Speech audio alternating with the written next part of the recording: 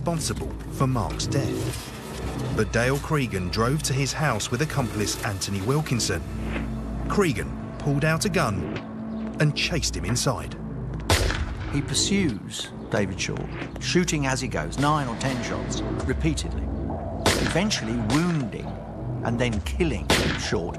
And he then puts a hand grenade effectively beneath Short's body and detonates it.